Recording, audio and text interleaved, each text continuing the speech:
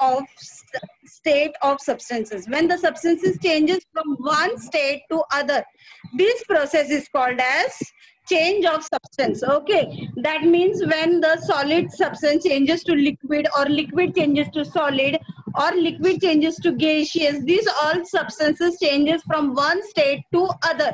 So this process is called as change of state of the substance. So what is the change of state of substances? When the substances changes from one state to other, this process is called as change of state of substances. For example, camphor, kapur. Okay, kap, kapur jo hota hai. So that camphor, when you keep it open, what happens? It evaporates. Okay, it uh, evaporates into gaseous form, as it is in the form of solid. But when its uh, lid is open, what will happen? It will evaporate. Okay. Similarly, the water, when you keep in the refrigerator, it turns into solid. That is, ice cubes are converted. Okay, when you boil the water, you can see the vapors. So water is evaporated with the help of boiling process. Okay, that is called as gaseous. So there are three states of a substance that is solid, liquid and gaseous. And when the substances changes from one state to other, this process is called as change of state of substance. Okay, let's see what is there. Now there are some examples in solid iron example is there. Okay, now what is the shape of iron? You can give any shape to the iron. The iron has a shape of its own. It can retain the shape no matter how it is kept. Okay, you can give shape to the iron. When the iron is hot, you can give the different shape to the iron. iron then what is the volume it has definite volume solids like sugar sand when they are poured on a flat surface for a heap means you can collect the solid substances if they are fall on the ground. Okay if the sugar is fallen down on the floor what you can do? You can pick that up and you can collect every all the sugar and keep it okay? So the solid things can be collected okay? Now liquid. In liquid what are the examples? Water spirit oil. Now the water does it have shape? No water does not have shape. So if you keep pour the water in a glass it will take the shape of glass. If you pour in the bucket so it will take the shape of bucket. So water does not have shape. Uh, then volume yes it is having a specific volume as it occupies the definite portion of the container okay? Means it take the uh, shape of the container. The water takes the shape of the container. And when the water is fall on the ground what happens? Everywhere water is flowing from one place to other means in the whole room the water is scattered here and there. As it flows downwards along the slope then air. Air is the example of the gaseous thing. Now does the air has shape? No. Again it does not have shape. Uh, it occupies the available space. Now does it have the volume? Yeah, uh, yeah no it does not have definite volume because the pressure of gases in the container are keeping on changing. The uh, the pressure in the container are keeping on changing. So in solid the solid has shape and it has definite volume whereas liquid and gaseous they do not have definite shape and definite volume. Okay? Then uh, you can see that when a solid uh, substance is heated. It is converted into liquid. Okay? For example ghee. When it is a solid substance when you heat it what happens? It uh, it melts. It melts into liquid. Okay? Then again i can give you the example. Water is the best example change of state. Uh, when uh, uh, the uh, solid form of water is ice. When you uh, keep the ice outside. What will happen? It will start melting and it will come in the form of liquid. Okay.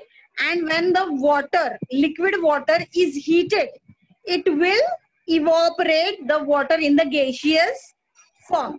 But when the hot water is cooled, when the hot water is cooled, what will happen? It will again come back from gaseous state to liquid. And if the liquid water is kept into the solid, what will happen? They will again become ice cube. Means what? The change of state can uh, the change of state can be from one place to from solid to liquid, liquid to gaseous or gaseous to liquid or liquid to solid. Okay, I hope you have understood. Then the temperature and a thermometer. Okay, now whenever uh, we have some fever, okay, what we do, we immediately take out the temperature uh, thermometer and check our temperature. Okay, what does the thermometer do? It, uh, what does the thermometer do? It uh, what does the thermometer do? It measures the temperature of the body. How much warm the body is. Okay. For example, when the water is boiling, can you put your hand into it? No, we cannot put because we can see the water is hot. So to measure the temperature of hot or cold thing, there are some thermometers used. Okay. The digital thermometer is used to measure the temperature. And in thermometer, there is a liquid called mercury, which is used for measuring the which is used for measuring the uh, temperature. It shows the temperature here. Whatever red color you can see in the picture, that is mercury present in the thermometer. Okay. So a thermometer used for measuring the temperature. What is the thermometer used? To measure the temperature, whether it is hot or whether it is cold. Now, whatever temperature you are measuring, it is measured in degrees Celsius okay? Nowadays there are several different types of thermometers also used. Okay? Digital thermometers are also there. You can see the digital thermometers also for measuring the uh, temperature. Okay? The next topic is boiling.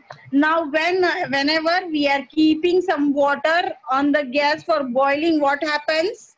You can see the water is boiling. Okay you can see the water bubbles and even you can see the vapors evap evaporate uh, the water evaporating with the help of vapors. When the water is kept on the stove attains a particular temperature or level of heat. When it attains the particular temperature or heat what happens? You can see means after a certain time when you keep the water for boiling, immediately you cannot see. After reaching at a certain temperature, after that temperature level, you can see the evaporation that take place in all the parts of the body of the water. Means you can see the water has been started boiling from all the side. And fastly, you can see the water bubbles there. And as the water is boiling fast. You can see the bubbles also raising faster and faster. So this is called as boiling of water. Okay when you see the bubbles coming fast one by one uh, faster and faster at the rate of the surface the steam is mixing with the air. Whatever steam is uh, going out of the water that mix with the surrounding air so this thing is called as boiling of water. Okay, the pure water boils at 1000 degrees Celsius. Okay, so sea level, their water boils at 1000 degrees Celsius. Okay, when the water vapor cools, it converts into water again. When the boiled water, now it is a rainy season. So now your mother, what does she do? She boils the water for drinking. But can you drink that boiled water? No. So what does your mother do? She keeps it for cooling. Okay. She keeps the same water for cooling and after it cools, you can drink that water. So when the water vapor cools down, it again converts into water. This process is called as condensation. Okay. When the boiling is there, then you can see water vapors forming steam. But when you keep the same water for cooling, what will happen? The vapors will cool down, will cool down. And what will happen? it will again convert into water. The, this process is called as condensation. When you keep the water uh, on the gas for boiling, that is called as boiling point of water. But after boiling, when you keep the water for coming to the normal temperature or for cooling, this process is called as condensation. So condensation of the steam also takes place at 1000 degree Celsius. So boiling point and condensation point of the water are one and the same. So these two points are same, they are not different. Okay. Only when you see water bubbles, it is called as boiling point of the water. And when the water vapor cools down and it comes back again to its original position, this is called condensation. So no change of uh, state has been done in this process. So boiling point and condensation point of the water are one and the same. Okay. The next point is freezing. Now freezing. Everyone loves ice cream. Okay. So how the ice creams are prepared? You keep the uh, you make the batter of ice cream and you keep in the refrigerator. In the cold temperature, the ice cream is formed. So water kept in the freezer also, it becomes cooler. Now in summer season, uh, we use lot of uh, refrigerator. Okay, we drink lot of cold water and we love to eat ice creams in the summer season. Why we are uh, eating ice creams in summer season? Because it is too hot outside. Okay, the temperature is very hot outside and we are trying to maintain the temperature of our body by drinking the cool water or uh, having some ice creams so that is uh, one of the things that we are preferring but that is not good. At a certain temperature water does not get any uh, cooler but the start the temperature at which happens is called as freezing point of water. Means what?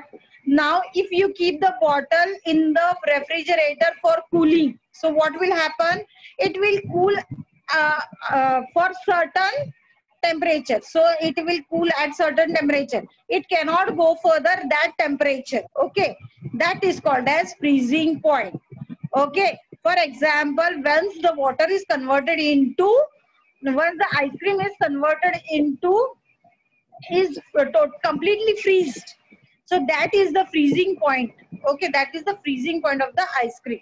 So, so the water which is kept in the refrigerator has a certain limit of cooling. It cannot go beyond that. Okay, this is called as freezing. Even you can see candles. There are various candles when you uh, uh, various candles available in the market okay which are made up of metallic paraffin wax. Okay candles are made up of paraffin wax. Okay they are made up of colors very different colors attractive colors. Okay so candles also are formed in the uh, freezing thing. Okay when you melt the wax what will happen? It will get form into liquid. But the candle is the uh, solid form of the paraffin wax.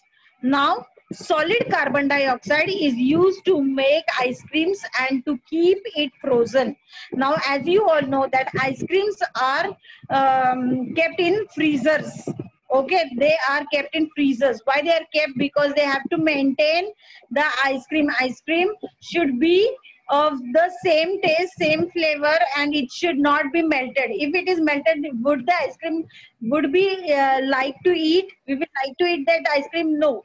So the solid carbon dioxide, um, that is dry ice, is used to make the ice cream. So this type of ice is used for ice cream, which keeps the ice cream for longer time frozen. Okay. The liquid nitrogen is also used for animal husbandry. Sand is used to make glasses. Okay, as you all know that there are many attractive glasses. We are making sharbat and serving it to our uh, guests in glass. So that glass, do you know that glass is made up of sand? Because the sand or silica, it is melted and when it is melted we make a glass from that okay? That is the formation of the glass. So glass is melted from sand or silica okay? When the sand is melted you get a new form that is called as glass okay? Metals like gold silver are melted to make ornament okay? Now you uh, your mother you must um, be wearing some ornaments of gold or silver. So gold and silver are also melted to give a definite shape to the ornament to make the ornament uh, attractive designs for making that purpose the gold and silver is also melted. Okay? Even iron is melted to make different types of tools. Then sublimation. Now what is sublimation? The change of solid state substance directly into gaseous or vapor without first change into liquid is called as sublimation. Means what happens in this process? Okay. In this process what happens? The solid substance directly changes into gaseous. It does not changes into liquid okay we have seen that solid substance changes to liquid liquid changes to gaseous but in sublimation what happens the solid substance instead of changing into liquid it directly changes into the gaseous okay it directly changes into the gaseous form. This process is called as sublimation. Okay. Then you can see the glass is made up of uh, uh, plastic, steel or glass. So glass is or glass. Then you can see the chalk powder which is very fine, transparency, hardness, weight, uh, weight color and sound is also produced in it solubility so we are going to study the solubility hardness transparency of the substances and the properties of the substances in the lesson. Okay? What are the properties of the substance? Brittleness. Okay? Yes um, what is the brittleness example? The best example is chalk. What is the example of the substance? That is brittleness? So uh, the substance breaks into small pieces or particles. So if the chalk falls from one place to uh, from our hand to the ground, what will happen? It will break. Okay. When we write on the board, what happens? You can see the small chalk particles falling down. So the chalk has the property of brittleness. Okay. Then elasticity. What is elasticity? When the substances changes their shape, when um, force is applied on it and then come back to its original position. For example, rubber. When we stretch the rubber, what happens? It changes shape. As we are applying force to it, what happens? It stretch a long and it uh, and when we remove the force, what will happen? It comes to its original position. So this property is called as elasticity. The example of elasticity is rubber. Why I'm telling you examples? Because with the help of examples, you can remember the properties of the substance. The third property is fluidity. The liquid flows downwards on the slope, sloping surface. This property is called fluidity okay we have Mm, we are knowing that whatever liquids are that when they fall on the ground what happens? They spread on the floor okay? They spread on the floor. So this property is called as fluidity falling any type of liquid for example water milk or oil. Then density. So density is also one of the property. In this property, the mass of the different substances have been the same, but there is difference in the density. So if the two substances are having the same mass, but the density is different, then the substances differ from each other. For example, iron and wood. So iron and wood, they both have mass. Mass means what? Weight. So iron is also having weight and wood is also having weight. But the density of both is different. So between the substance, the same volume is there. But one which is greater density is heavier than the lesser density means out of this iron is having the higher density and wood is having the lesser density. So according to the density also the substances uh, can be differ. The next uh, property is solubility. Now the property of solubility means dissolving. So as you all know that uh, water dissolves in water has a property of dissolving everything okay if you add uh, salt and uh, sugar so that is dissolved in water. So it is called as solubility. So this property is called as solubility. Means in water all the things are uh, all most of the things are dissolved. So the water is uh, called as soluble. So it has the property of solubility. Then transparency. Now this property means what? You can see from one side to the other side. That is called as transparent. Okay. When we look through the substance and see the things of the other side, this is said to be transparent. What is the meaning of transparent? You can see the things which are on the other side from the one side. This this uh, is said to be transparent. If the substance is having such type of property of transparent, then they are called as transparency. So what is the example? From water also you can see from one side to other. For example, fish tank. You can see from one end to the other end what is see what is able to see in the water. Even from glass also you can see the transparency. So glass and water shows the property of transparency. Then our next topic, what are metals? Now, what are metals? The metals like copper, gold, iron, aluminium are called as metals. Now, metals are formed in the minor deep inside the earth. Where are metals found?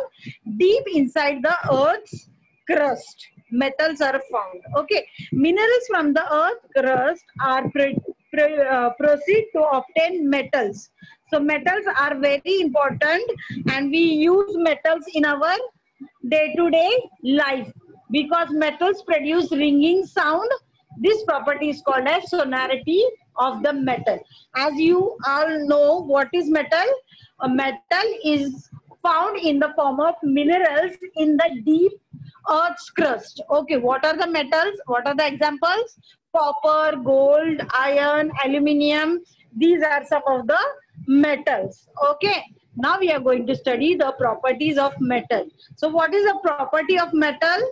The first property of metal is sonority of the metal. Means whenever the metal falls down, what happens? You hear the sound of ringing. Okay, from uh, your mother, some vessel falls down. What happens? You hear the ringing sound. So this property is called as sonority of the metals. Okay, what is this property called? Sonority of the metal. Sonority of the metal means ringing sound is coming when the metal are fall down. Then, properties of metals. Metals can be converted into sheet by hammering. So when you hammer continuously the metal, what happens? It is converted into sheet. Means metal can be given different shape. So this property is called as malleability. Malleability means can be converted into sheet by hammering. Okay. This property is called as malleability. Then metals are stretched and drawn into wires. So these properties of uh, metal is called as ductility. So as you all know that there are uh, uh, uh, wires in our house. In that wire some metals are there. Okay, that metals are stretched and drawn into the wire. So this property of metals is called as ductility. Okay, metals like silver, gold, copper, platinum. These are also uh, fine. These are also fine wire-like. Okay these are also fine wire like. So metals are having malleability property. They are having the property of ductility. Ductility means they are drawn into the wire, straight uh, uh, wire like or thread like you can say. Then metals allow the heat to flow from them. Now what happens? Your mother is making some uh, food in the vessel. So what happens there? The metals allow the heat to flow from them. If the metals are not allowing the heat to flow, will the food cook in the vessel? No, the food will not cook in the vessel. So the metal allow the heat to flow through them. This property is called as thermal conductivity.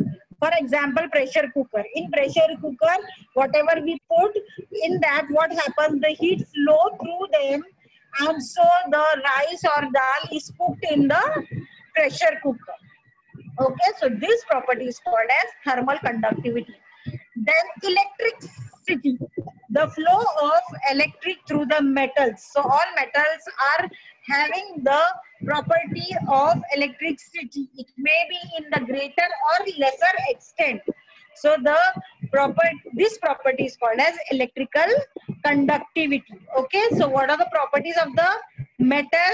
Malleability, uh, ductility, thermal conductivity, and electrical conductivity. Okay, see you can see uh, first malleability. Here second is ductility. Uh, then third is uh, the fourth figure is of thermal conductor. Okay, these are the properties of metals. Now, what we have studied in this lesson, there are three states of substances. Which are three states? Solid, liquid, and gaseous. Okay. Then, how can we measure the temperature? We can measure the temperature of a substance with the help of thermometer. Okay. So, what is used to uh, measure the temperature? So, thermometer is used. Okay heat is caused of the change of substances so most of the time you have seen that heat is one of the uh, thing that changes the state of the substance whenever a solid or a gaseous substance is given heat it start changing the substances for example ghee even camphor okay uh, the substances have various properties now, which properties we have studied in the substances? Properties of substances. We have studied brittleness, hardness, electric, elasticity, fluidity, density, solubility, and transparency. Okay. Then metals. Metals are the form of form a separate group. So they are metals and substances both are different. Okay. So the properties of the substance are different and the properties of the metals are different. So what are the properties of the metal? Malleability ductility thermal conductivity electrical conductivity sonority lustre and characteristic of colour okay so question answers time we will see the question answers afterwards